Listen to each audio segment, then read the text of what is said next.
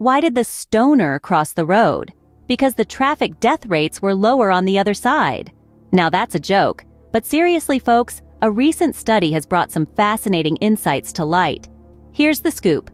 In states where marijuana is legal, traffic death rates have actually decreased, while states that kept marijuana criminalized saw a slight uptick in such deaths. Now that's not to say that lighting up makes you a safer driver.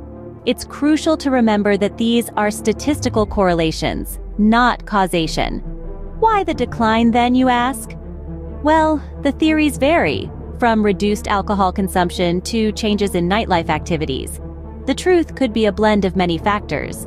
But let's not lose sight of the fact that responsible use of cannabis is key, especially when it comes to driving. Just because some numbers suggest a correlation between marijuana legalization and lower traffic deaths doesn't mean it's okay to drive under the influence. While it's promising to see such statistics, remember that cannabis use and driving don't mix. Safety first, always. In other cannabis news, there's a lot happening around the world.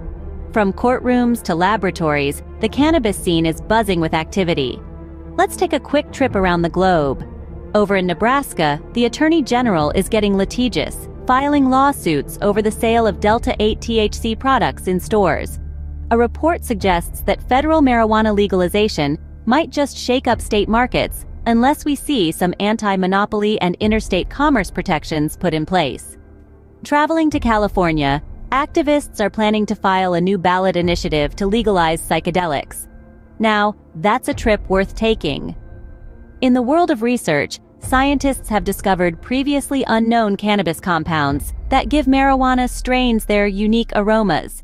It's like finding a new spice in a well-loved recipe. So whether it's groundbreaking research or legal battles, the world of cannabis is never dull. And now, a shout out to Ben Adlin over at Marijuana Moment. If you're looking for more in-depth coverage, you should definitely check out their work. They're always on the pulse of the latest cannabis news, dissecting the trends, and breaking down complex topics into digestible pieces. They're an invaluable resource for anyone wanting to stay informed about the ever-evolving world of cannabis. Speaking of staying informed, there's a vibrant community of cannabis enthusiasts over on Facebook. It's a space to share insights, discuss recent developments, and connect with like-minded individuals. So, if you're passionate about cannabis and want to be part of an engaging and informed community, check out the link in the description and join the conversation. That's all for now. Remember, knowledge is power, and in the world of cannabis, there's always something new to learn. So, subscribe for more cannabis-related content and stay in the know.